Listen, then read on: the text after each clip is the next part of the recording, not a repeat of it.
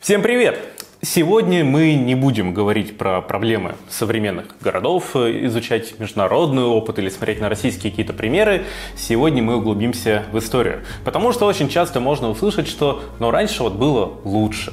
И я прекрасно понимаю, что на YouTube полно роликов с историей там, Москвы, Петербурга и любого другого города. Есть целый канал москвоведов типа Александра Усольцева, всем рекомендую. Вот, на его поляну я лезть не буду, но при этом сегодня я хочу поговорить про исторические детали. Точнее, про какие-то дизайн-решения, которые были на улицах там э, в конце 19 века, начале 20 века, которые мы полностью потеряли, потому что как ни странно, иногда оказывается, что не нужно придумывать что-то новое, нужно просто посмотреть, как было, и, собственно, начать так же делать.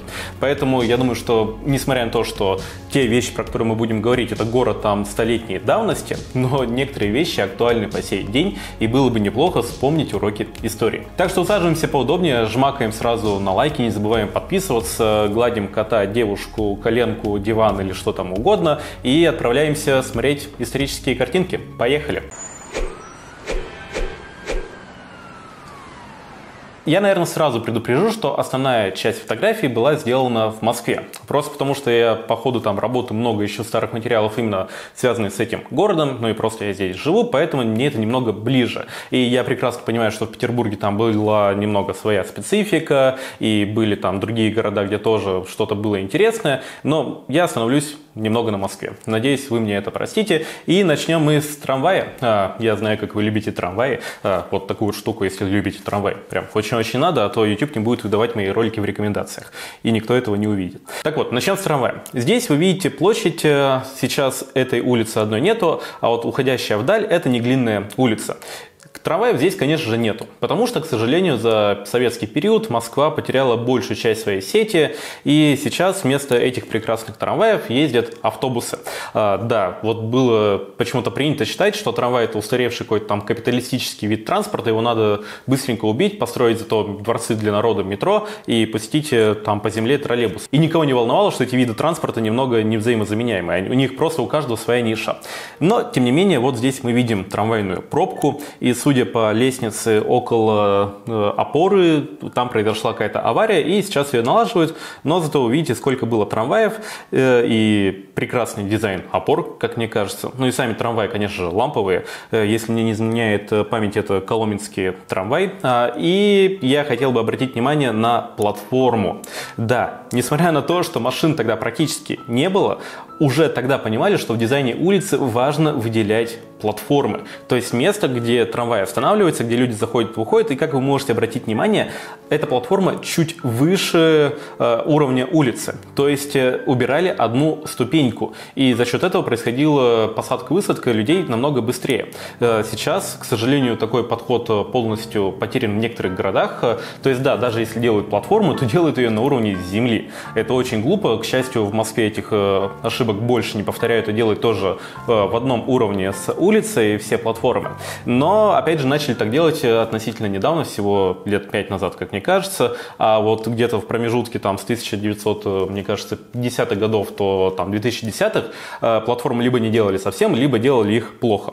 Ну а здесь вы видите другой пример. Это Ильинский сквер и где-то 33-35 года 20 века. И опять же, вы видите огромную асфальтовую площадь.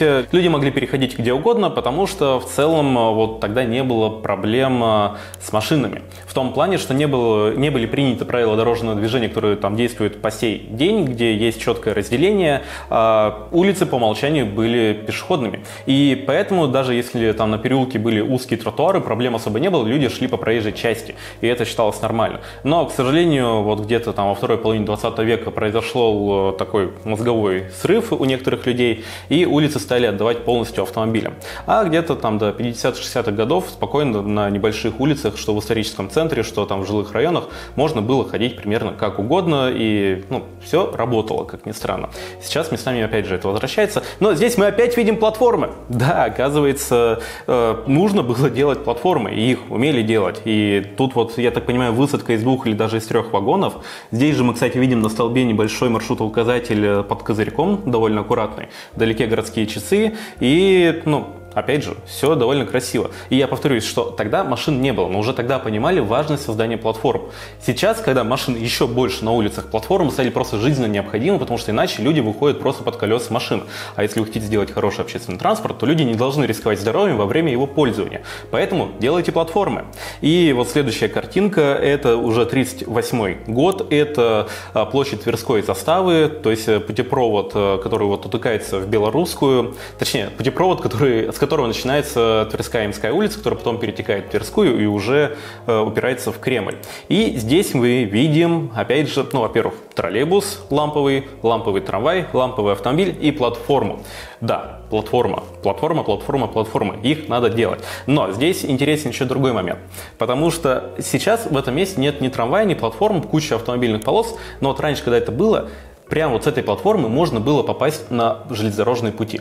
То есть у тебя была вертикальная пересадка, когда а, есть с одной стороны, наверное, вот так будет пока, проще показать, а, вот есть здесь железнодорожные пути, здесь трамвайные пути, они пересекаются в высшей точке, и нужно пройти там не по плоскости одной, там 100 метров для пересадки, а нужно спуститься там на полтора-два этажа вниз, и все, ты попадаешь в электричку. Максимально короткая, эффективная пересадка, такие я вам показывал на примере в Кёльне, ну, в целом, такие делают практически во всем мире, у нас тоже так умели делать, но, к сожалению, разучились. И это то, что мы пока не можем вспомнить. И вообще по умолчанию считается, что если, не дай бог, ты сделаешь остановку на путепроводе или на мосту, то, э, там, я не знаю, кровь младенца в конец света, Годзилла придет и все разрушит, и все у вас, в общем, полетит к чертям, поэтому так не делают, к сожалению. Ну и если продолжать тему железнодорожного транспорта и в целом транспорта, то здесь вы видите Виндовский вокзал. А, это, насколько я помню, сейчас Рижский вокзал, но, опять же, я могу ошибаться. Я все-таки не историк, я больше про детали какие-то. Но здесь вы видите чудо чудное. Вы видите навес, который уходит прямо до платформы.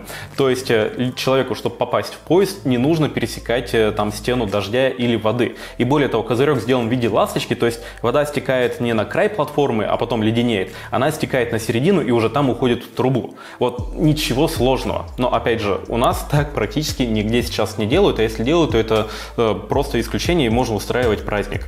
Но вот, к сожалению, раньше было лучше. И отдельно я хотел бы все-таки остановиться на опорах, на контактной сети или фонарных, потому что, ну вот просто посмотрите на это первая Мещанская улица и 1912 или 1914 года. А, мощение, домики, часовня и вот эти вот опоры. Они все прекрасно дополняют друг друга. И у тебя прекрасная улица. Здесь нет чего-то такого фантастического, но просто ты смотришь и тебе приятно. У нас, к сожалению, так разучились делать. Ну или вот другой вариант посмотрим, уже тип опоры совсем иной, но опять же просто есть какая-то форма. То есть архитекторов и дизайнеров привлекали даже для создания каких-то совсем утилитарных вещей. Это то, к чему мы сейчас возвращаемся, но, к сожалению, это все еще очень редкая практика. А, или вот э, первая Тверская Ямская, здесь мы видим, опять же, более парадные фонари. Во-первых, можно еще обратить внимание, что здесь есть э, деревья, и они немного закрыты, чтобы их не поели лошади, видимо. А, во-вторых, опять же, фонари. Они просто прекрасны классные. Но вот серьезно, и фонари, и трамвайные опоры, и архитектура, все просто все стыкуется, все классно. Это то, чего нам очень не хватает, потому что даже если у нас реконструируют улицу, могут сделать хороший тротуар, там хорошую проезжую часть, хорошие там скамейки, но при этом будут ужасные фонари. И это ну, просто немного бесит. Это когда вы делаете ремонт у себя дома, вы поставили хорошую кухню, хорошую мебель, но при этом, не знаю, у вас осталось висеть на потолку лампочка без люстры или без какого-то абажура или без чего-либо еще. То есть, ну, понятно, что так быть не должно. Но, тем не менее, когда мы говорим про город, такое встречается повсеместно. Сейчас вы видите Чистопрудный бульвар 27 года, знаменитый «Берегись» трамвая, который был еще в «Мастере и Маргарите», и катушку. А, катушка работала, во-первых, она не позволяла лошадям проходить через э, пешеходные дорожки, а во-вторых, когда подъезжал трамвай, он замыкал цепь, и вот «Берегись» трамвая начинала мигать и светиться. То есть э, там в этом месте есть проблема с видимостью, потому что довольно высокий забор, и когда едет трамвай, он, точнее водитель может не заметить вовремя выходящего человека.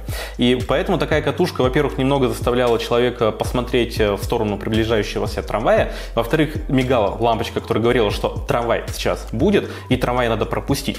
А, да, тоже веяние, которого тоже вот сейчас у нас есть, что у трамвая нет приоритета даже на пешеходных переходах, от этого нужно избавляться, потому что у трамвая другой, совершенно другой тормозной путь. Если мы возьмем ту же Чехию, то там у трамвая приоритет, и это совершенно логично.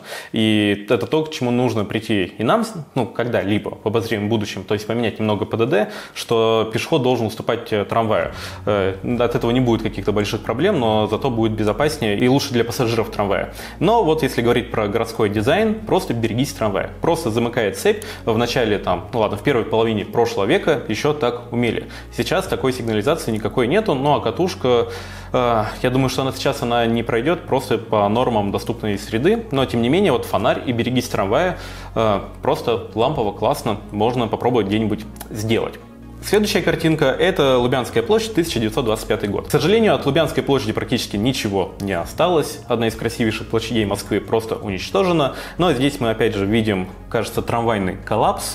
Но я хотел бы обратить внимание на другое – на асфальтовые дорожки. То, что проезжая часть вымощена, но люди ходят по ровному тротуару э, из асфальта. Асфальт тогда был новым веянием и довольно дорогим. Вообще в мире асфальт появился не для того, чтобы машинам было удобно есть, а чтобы было проще чистить э, город, потому что вот доставать какие-то окурки или что-то между брусчаток довольно было сложно. Это потом осознали, что это имеет определенную историческую ценность и стали местами возвращать. Но в целом многие города мира похоронили свои мостовые под слоем э, асфальта именно из расчета того, что будет проще убирать. Ну а в Москве в те годы из асфальта нового инновационного дорогого материала делали тротуары, чтобы людям было комфортнее ходить хороший подход, э, который показывает, у кого приоритет. На пешеходов тратили больше всего денег. Хотя, ну вот если мы посмотрим на следующую картинку, э, на следующей фотографии это Илинские ворота и совсем начало 20 века, мы опять же увидим, что асфальт клали еще в царские времена, но с доступной средой были проблемы, потому что прекрасно видно, как все утыкается в огроменный бордюр. Это Ярославское шоссе и 1939 год. И здесь вы видите двухэтажные троллейбусы. Они ездили по Москве совсем недолго, выяснилось, что было много проблем с эксплуатацией, насколько я помню. Но, к сожалению, троллейбус сейчас для Москвы в целом история, потому что вот буквально в сентябре э, Собянин окончательно убил систему, и замены в виде электробусов, конечно же, не хватает, поэтому порезали все автобусные маршруты, чтобы как-то вывести. Ну и в целом, конечно, идиотизм, то, что мы заменяем работающий экологически чистый вид транспорта, к тому же очень дешевый, на какую-то непонятную инновационную банку, которая то работает, то не работает, которая просто стоит очень больших денег, и с Э, аккумуляторами электробусов непонятно, что делать там через 30 лет. Как их утилизировать, никто не понимает. В этом плане троллейбусы это, конечно же, э, совсем не устаревший вид транспорта, просто нужно уметь им пользоваться и поддерживать. Но, к сожалению, сначала в Москве грохнули трамвай, потому что он не нравился руководству, потом началась эра троллейбусов, в том числе двухэтажных, э, и сейчас закончилась эра троллейбусов, и, скорее всего, будет эра автобусов, потому что трамваи тоже особо не строят. Закупают новые машины, но линии особо не строят, то есть маршрут, э, как, э, сеть не прирастает, к сожалению. Из нее пытаются вытянуть максимум, но запас рано или поздно кончится, хотя много мест, куда, конечно же, хочется трамвай вернуть. И хочется верить, конечно, что лет через 20 там э, мы увидим трамвай на всех основных магистралях города, Тверская, проспект Мира, Садовое кольцо и другие маршруты, где трамвай просто элементарно нужен по пассажиропотоку, потому что автобусы уже не вывозят. Ну а если вот продолжать тему вылетных магистралей, магистрали. Это проспект Мира, 1982 год. Во-первых, здесь вы еще видите деревья, не произошла дорожная революция Лужкова э, и наземный пешеходный переход, и он со островком безопасности. Э, да, я думаю, что я вам всем уже надоел со островками безопасности, но, потому что это тот элемент, без которого невозможно построить безопасную улицу. Понятно, там много таких элементов. Я вот буквально в прошлом ролике рассказывал вам, как сделать хорошую улицу, и там я про это рассказывал. Э, но вот, опять же, мы это делать умели у нас это было. Э, просто в какой-то момент, э, мне кажется, общество надышалось парами бензина, произошло какое-то опьянение и произошла вакханалия. И нам сейчас приходится с этим совсем бороться, разбирать э, завал, который сделали предшественники. Надеюсь, что до конца моей жизни успеем исправить ошибки 20 века. Очень хочется в это верить. Ну и, конечно же, пешеходные переходы на Тверской. Они были, и здесь вы прекрасно их видите. Никто никого не заставлял спускаться в подземлю, и, в принципе, любой житель города, будь то маломобильный, там, пенсионер с сумкой, молодой и здоровый, мог спокойно перейти улицу. И здесь вы видите, что пешеходный переход э, сделан не не в виде привычной зебры, а сделан в виде пунктиров. А, к сожалению, где-то во второй половине 20 века в российской части СССР от этого отказались. При этом это все еще есть в стандартах э, Беларуси, Украины, э, есть э, там в Великобритании и во многих других странах, потому что на перекрестках со светофорами приоритет для пешехода делает не сам факт зебры или знак пешеходного перехода, а светофор. То есть смысла наносить зебру особо нет. Зачем тратить лишние деньги, зачем маливать асфальт краской, когда можно просто выделить габариты и все будут понимать, как тебе идти. То есть загорелся зеленый сигнал, ты идешь вот там по этой зоне. А не загорелся, не идешь. Все кажется логично. И если мы посмотрим на следующую фотографию, это новая Басманная улица, 75 год, то здесь вы можете заметить и вот эти вот э, пунктиры, и при том уже обычную зебру. И я, к сожалению, не застал те времена. Если вы вдруг э, тогда жили и помните, напишите, пожалуйста, в комментариях, что это было. Потому что есть такое чувство, что вот этот вот пунктир был не просто краской, а в виде катафот. Я не знаю, как они справлялись с тем, что коммунальщики там каждую зиму ковшами, например, раздалбливали их, меняли ли они каждый год эти катафоты, или они намертво как-то их вбивали туда. Но как факт здесь видно, что есть определенный рельеф, что части катафот уже нет. То есть, скорее всего, это как раз тот период, когда начали заменять вот такие пунктиры на уже привычные нам зебры. Ну и можно посмотреть на довольно приятный светофор. Просто у него есть, у столба в смысле, у столба есть определенная форма, и он кажется уже таким украшением улицы, хотя ничего в нем такого сверхъестественного нету. Ну, а следующая фотография, это 59 год и уже цветная фотография. Здесь вы видите такой светофор э, в оригинале, его форма. То есть обрат... вот, про... в него хочется влюбиться, потому что посмотрите на основание, посмотрите на переход, посмотрите на сам светофор, у него есть форма, и он прекрасен. И вот с этим же самым трамваем они формируют какую-то целостную картинку. Понятно, что эти вещи из одной эпохи. И к сожалению, ничего такого уже в Москве не осталось. В некоторых городах я еще встречаю хотя бы столбы. Понятно, что светофоры давно подобные выкинули, поставили новые светодиодные, но столбы где-то еще остались. Но, к сожалению, это большая редкость, потому что никто просто этого особо не ценил. Другая деталь, которая массово пропадает с московских улиц последние годы, это подвесной фонарь. А, считается, что они враги чистого неба, что обязательно нужно ставить столбы. И если для больших улиц это не какая-то трагичная частичная замена, то для переулков, где места мало, установка столбов иногда съедает значительную часть тротуара. А, в ролике про реконструкцию улиц я рассказывал, как архитекторы это обходят, чтобы тротуары были свободны для проходов. Но так или иначе, для переулков все-таки подвесные фонари, особенно с учетом нашей зимней уборки, все еще лучшее решение. Пожалуйста, не допускайте ошибок э, московских, э, сохраняйте подобное у себя в городе. А сейчас обратите внимание на этот столб, особенно на его нижнюю часть. Видите вот все эти пупырышки. А, они появились, точнее вот эти вот столбы, появились в Москве в 1910-х годах, потом в 1920-х, 30-х тоже еще немного ставили, потом забыли. Так вот, эти пупырышки предназначены для того, чтобы на столбы не клеили объявления. А, да, проблема объявлений на столбах актуальна по сей день, потому что коммунальщики запарились их очищать. А, когда ты ставишь самые дешевые столбы, тебе приходится каждый день гонять дворника, чтобы тот со шпателем как-то очищал от рекламных объявлений эти несчастные серые а, столбы. Так вот, чтобы решить эту проблему раз и навсегда, просто сделали форму, отлили рельефные столбы и туда просто ничего не прикрепить. То есть даже если ты приклеишь туда бумажку, то ее очень легко будет отодрать, не нужно со шпателем там колупаться 5 минут или 10 с каждой бумажкой. Абсолютно простое решение. Я показывал вам на примере многих городов мира, что это работает по сей день, но вот, к сожалению, до такого простого решения, как рельефная какая-то поверхность, то есть э, ее можно сделать изначально, отлив э, специальные формы, ее можно сделать, добавив в краску просто песок, и уже получится рельеф. Я показывал такое на примере Праги или Барселоны. То есть ты за счет того, что сначала подумаешь, потом делаешь хорошо, решаешь э, свои головные боли на следующие 30 лет. У нас же идут как проще, а потом страдают следующие 30-40 лет. Ну, то есть, э, к чему учит нас эта картинка? Что нужно вначале думать, потом делать. Э, и до революции, как минимум, нас знали в этом толк, но потом позабыли, к сожалению. Да, такие, кстати, исторические фонари некоторые появляются в Москве сейчас вновь, но вот конкретно этой формы я не встречал на улицах.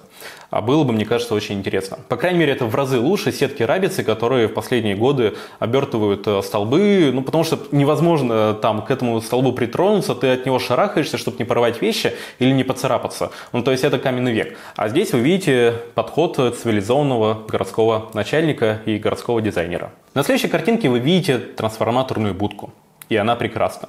Я думаю, что многие привыкли, что любая будка с коммуникациями сегодня это просто серый шкаф, э, который хочется побыстрее пройти, или в лучшем случае хочется на него насать или расписать, но здесь вы видите произведение искусства. Потому что, как я уже говорил, раньше умели привлекать специалистов, то есть дизайнеров, художников, архитекторов для создания даже каких-то совсем утилитарных вещей. Потому что было понимание, что любая деталь на улице формирует облик города и так или иначе формирует отношение людей к этому самому городу. И умели делать даже простые вещи прекрасными.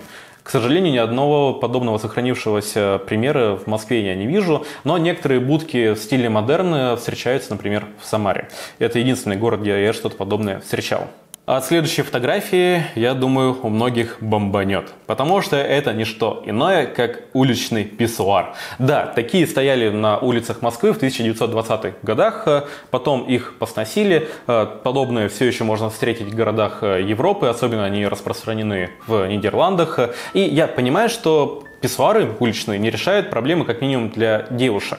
Они решают скорее проблемы для мужчин, и в этом плане это определенная дискриминация. Но нужно отдать должное то, что уличный писсуар совершенно прост.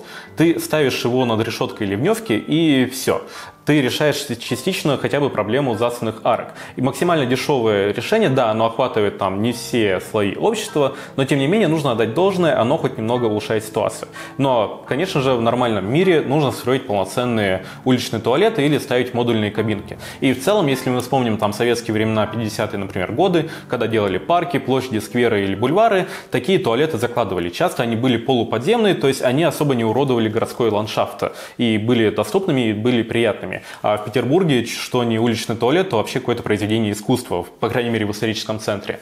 Но, к сожалению, у нас э, сейчас очень сильно принято эту проблему опускать и считать, что естественные потребности, э, как бы их не существует. Что да, людям свойственно ходить в туалет, но когда вы выходите на улицу, вы должны стать суперчеловеком и перестать хотеть ходить в туалет. Или искать постоянно Макдональдс или еще какие-то другие места, чтобы справить нужду. А вот э, улица, то есть общественное пространство на этот запрос, как правило, не отвечает. Проблема потихоньку решается, но решается не на улицах, а все-таки в общественных пространствах типа парков, да и то далеко не всегда. А это перекресток площади Разгуляй и Новой Басманы улицы. А, в то время этот район только начинал застраиваться, и здесь вы видите типовые элементы дизайна улицы как бы сейчас это назвали. Во-первых, мощение проезжей части, чтобы не было грязи, ходит э, трамвай, э, есть озеленение и при этом за ним следят. Обратите внимание, что все деревья ровные. То есть они высажены специальной линией, есть городской садовник, который их подстригает, и они дополняют улицу и дополняют архитектуру. Как я часто уже говорил, э, лес и улица – это разные понятия. В городе ты с деревьями должен ухаживать, чтобы они не портили архитектуру, в лесу дерево может расти как угодно.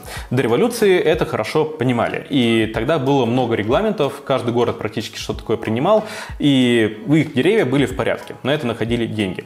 Здесь же вы видите уже асфальтовые тротуары, про которые я говорил. По центру, судя по всему, стоит либо извозчик, либо дворник, сложно заметить. Ну и просто застройка к красной границе, ты прекрасно понимаешь, что это улица. Понятно, что дизайн-кода тогда не было, но архитектура была куда проще, и в принципе вот этот вот район, он когда застраивался там в конце 19 века, э, архитекторы изначально закладывали места места под вывески. И поэтому они не так сильно портят, но и все-таки было единение материалов и каких-то шрифтов, поэтому воспринимается все более-менее нормально, ну и в целом опрятно. Вот серьезно, опрятно. Мне кажется, это самое лучшее определение, потому что ты смотришь, и опять же, ну, ничего такого космически сложного. Конец 19 века, у людей там не было ни тракторов, ничего, но они умели создавать опрятные приятные улицы. При том, что это тогда была окраина города. То есть это не какие-то дорогие центральные районы. А, или вот другая уже фотография. Это новая конюшенная Слобода, 1913 год. Вы видите порядок ну вот серьезно, и в плане там мощения. Понятно, что здесь что-то раскопали, кажется, меняют, но вы видите идеально ровные тротуары. Вы видите, что от водосточных труб идут желобки, чтобы вода стекала не через ноги людей, а сразу на центр улицы и уходила в ливневку. То есть э, что-то подобное сохранилось в Выборге, я вам показывал в отдельном ролике. Это те решения, которые там были сделаны век назад и работают по сей день. Так вот, в Москве это тоже было. И вы видите прекрасные идеальные тротуары, нормальный дом, нормальный фонарь. То есть все в порядке. Ну, вот серьезно, вы видите и вы верите, что это история, при том, что э, никакого космоса. Ну вот серьезно, э, почему в наше время мы не можем там с помощью всех новых технологий такое делать и просто поддерживать? я не понимаю. То есть, видимо, проблема не в материалах, климате или чем-то еще, а все-таки проблема вот здесь вот. Ну и, собственно, цель моего канала, там, всей моей журналистской деятельности, это как раз акцентировать внимание на проблемах, что, ребят, мы можем жить лучше. Важно просто признать проблему, а не искать ей оправдания. А здесь вы видите уже Столешников переулок. Проблема узких тротуаров в Москве была давно, но опять же, как я говорил, люди могли ходить абсолютно в любом месте, э, переходить не нужно было что-то делать, хотя здесь вы видите, кажется, первый светофор города. И вы видите типичные довольно столбы, вы видите мощение, э, вы видите город. И здесь э, понятно, что город не создавал дизайн кодов, не проводил какую-то большую реконструкцию, но все довольно утилитарно, но все работает. И вот когда ты читаешь отчеты там, городской думы до революционных времен, там очень много внимания уделялось теме экономики. Что городская казна была небольшой, что часто что-то строили десятилетиями или находили богатых людей, которые помогали со строительством там, школы, пожарного депо или чего-либо еще. Но они обращали внимание, что каждый там булыжник, который ты выкладываешь, стоит определенных денег. И что это все должно отдавать какую-то отдачу. И что если ты сделаешь плохое благоустройство, тебе придется, например, чаще мыть улицу. И поэтому лучше сначала сделать подороже, а потом там следующие 30 лет экономить. Сейчас, к сожалению, про этот подход совершенно забыли, но и в целом, мне кажется, как-то потеряли границу, что такое хорошо, что такое плохо. И делать плохо стало, к сожалению, нормой, и действительно всему этому находит много оправданий. И я вас очень прошу не искать каких-то причин, почему можно сделать плохо, а все-таки стараться идти к идеалу. Потому что, понятно, это все история. Но мне очень хочется, чтобы вот когда у меня появятся дети, например, они выросли и смотрели фотографии там 2025 года, вот точно так же на каком-нибудь специальном сайте типа Паству, э, где куча исторических фотографий, фотографий, чтобы они, когда смотрели все это, они тоже говорили, что смотри, как опрятно, смотри, как приятно, смотри, там вот все как-то ровненько, все, все на своих местах просто. Потому что, ну, это то, что связывает человека с его городом, то, что действительно, вот ты смотришь на эти фотографии, ты влюбляешься. И не потому, что все, что было раньше, было лучше, а просто сам подход к формированию города, ответственность за то, что ты делаешь, и это приятно смотреть, и ты вдохновляешься этим. Э, Наверное, так лучше всего будет сказать. В общем, если согласны, что наши города вновь должны стать опрятными, не забудьте поставить такую штуку под роликом, а, подписаться, написать э, комментарии, чтобы как можно больше людей увидело э, это видео и чтобы тоже эти ценности стали общепринятыми. Но и не забывайте просто любить города. До встречи в следующем ролике. Пока.